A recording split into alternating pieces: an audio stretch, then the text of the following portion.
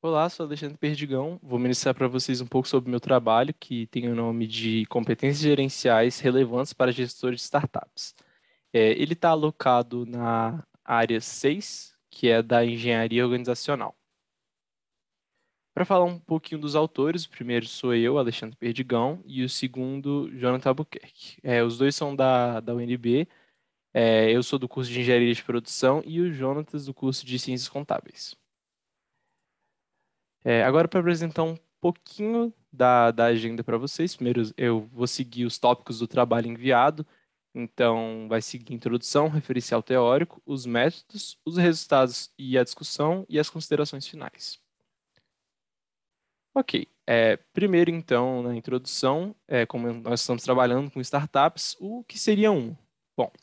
De acordo com o Sebrae, uma startup é uma empresa que tem um modelo de negócio escalável e altas condições de incerteza. Esse foi um termo que surgiu entre 1996 e 2001, durante a bolha da internet dos Estados Unidos.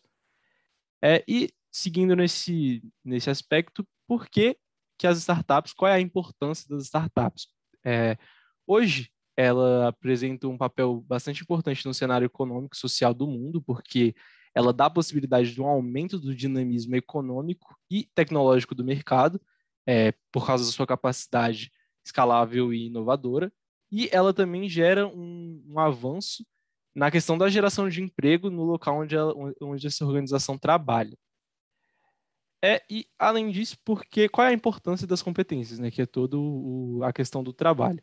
Que a gente sabe que uma startup mal gerida ela pode resultar é, danos sérios em perda de produtividade, é, alguma causa de baixa, de baixa inovação ou um crescimento é, abaixo do padrão, que é algo impensável para uma empresa que tem que está em um contexto de alta competitividade, como no caso de uma startup. Então, a gente precisa entender quais são as, as competências essenciais de um gestor desse tipo de organização.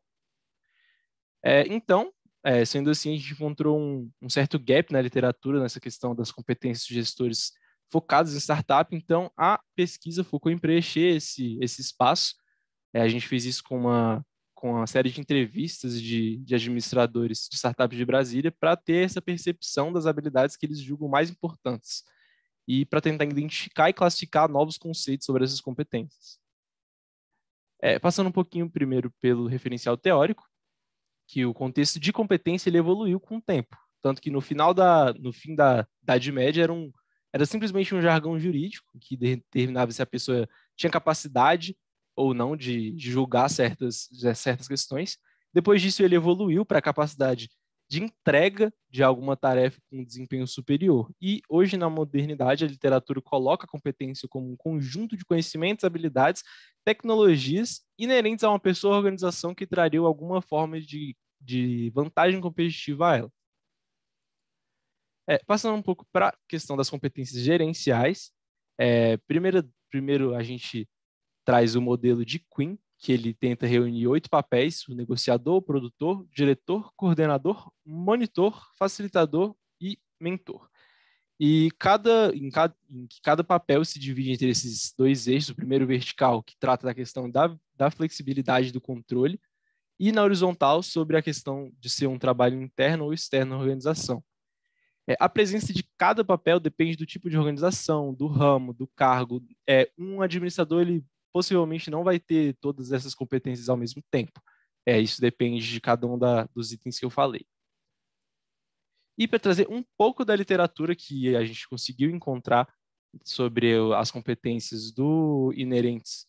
do, do gestor de startup, a gente encontrou, por exemplo, na questão do, do, do Figueira, no trabalho de Figueira, que ele também utiliza o modelo de Queen, e ele afirma que os papéis inerentes a um gestor de startup está na questão do produtor e do diretor é, porque eles são focados em proporcionar um ambiente mais produtivo, com foco em objetivos e metas claras. E também depois no modelo de Carvalho, que é focado em três, em três competências principais, a administrativa, que são aquelas que estão é, ligadas à liderança, à organização, à delegação e controle, as de relacionamento, que são aquelas capazes de fomentar redes de relacionamento, e as de comprometimento, que são aquelas ligadas a manter o time a si mesmo motivado mesmo em momentos de crise. É, Para nossa pesquisa, o método que a gente, que a gente levou é de caráter descritivo, com uma abordagem quali-quantitativa, é, onde a gente selecionou 11 administradores startups do DF e a gente rodou com eles um roteiro de 13 perguntas em que foram feitas é, por meio de videoconferência por causa da pandemia. É, passando para a parte de resultados de discussão, é, a gente conseguiu condensar essas respostas e identificou quatro tipos de, de, de categorias para elas. Primeiro, as comportamentais, competências comportamentais, de tomada de decisão, de engajamento e bom ritmo de trabalho, e aquelas que os gestores desejam dos seus funcionários. É, começando com as comportamentais, a gente pode ver a que teve maior resposta seria a habilidade de comunicação e abertura de novas experiências, que quando se analisa o contexto de uma startup, é fácil de entender a razão e a importância disso, por ser uma empresa em estágio inicial, a abertura a novas experiências é fundamental para garantir uma, uma rápida adaptabilidade a novas situações, tanto no contexto operacional quanto no financeiro, e também a importância de se comunicar bem, porque ela diz respeito a uma passagem de uma mensagem clara, inteligível para os funcionários e investidores ou para possíveis clientes. É, a gente também consegue ver a capacidade de identificar e agir com destreza,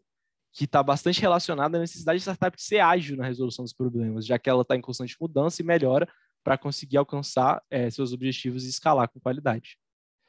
É, depois a gente, a gente passa para a questão da tomada de decisão, que a gente percebe uma distribuição menos concentrada e dividida igualmente entre os três primeiros tipos.